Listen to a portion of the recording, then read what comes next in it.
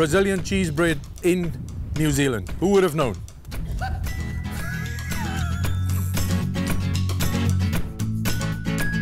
Before we start with the product, because I know it's delicious and I would love to have some, I'd like to know where the idea for you come from. Why cheese bread in New Zealand?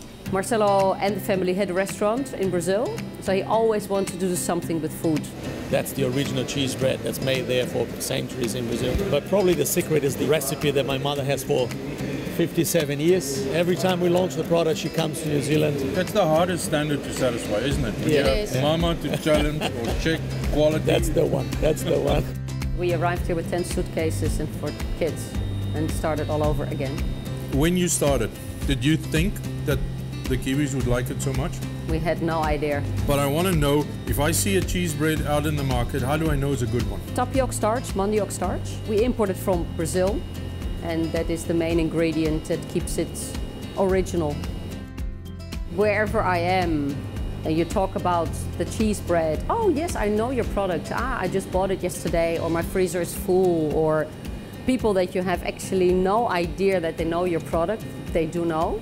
And you say you've got a store downtown. Yes. Probably one of the smallest stores you'll find in downtown Auckland. But the amazing thing is it's all about Brazilian food. Tell me, do people like it? Yeah, people really like it. Both the cheese bread and the chicken delight are really, uh, they really like it. They, they go away happy. There you go. That's the last one. Enjoy.